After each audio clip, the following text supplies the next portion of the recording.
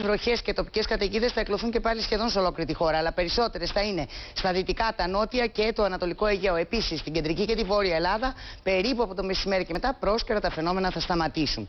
Οι άνεμοι θα πνέουν από δυτικές νοτιοδυτικές διευθύνσεις 4 με 6 και στα νότια πελάγη πρόσκαιρα 7 από 4. Η θερμοκρασία θα ανέβει το μεσημέρι στη βόρεια Ελλάδα έως 10 βαθμούς, στη δυτική έως 12 και στην υπόλοιπη χώρα έως 14 με 15 βαθμούς. Στην Αττική αύριο, λίγη συννεφιά παροδικά αυξημένη με πιθανότητα για λίγες βροχές, κυρίως το μεσημέρι και το απόγευμα. Νότιο-δυτική άνεμη 4 με 6 μποφόρ, η θερμοκρασία στην Αθήνα από 6 έως 12 βαθμούς.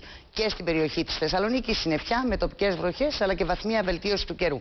Οι άνεμοι θα πνέουν από δυτικές βορειοδυτικές διευθύνσεις 4 με 6 μποφόρ, η θερμοκρασία στην πόλη θα κυμανθεί από 3 έως 9 βαθμούς. Το Σάββατο τώρα και πάλι βροχές δυτικά, νότια και ανατολικό Αιγαίο. Την Κυριακή φαίνεται πως θα είναι περισσότερες βροχές σχεδόν σε ολόκληρη τη χώρα και πάλι όμως εντονό στα δυτικά, τα νότια και το ανατολικό Αιγαίο.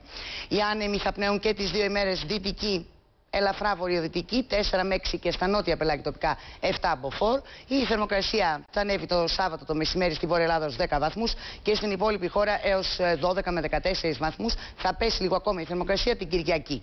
Τη Δευτέρα τέλος να πούμε πως το σύστημα θα κινηθεί ανατολικά και τα φαινόμενα θα περιοριστούν ε, στο ανατολικό Αιγαίο, τα Δωδεκάνησα και τη Θράκη και θα εξασθενήσουν. Ενώ την Τρίτη νέο βαρομετρικό χαμηλό από τα δυτικά θα επηρεάσει και πάλι τον καιρό της χώρας μας. Έτσι την Τετάρτη σε όλη σχεδόν τη χώρα βροχές, τοπικά ισχυρές καταιγίδες, χιόνια στα ορεινά και τα ορεινά της κεντρικής και βόρειας χώρας.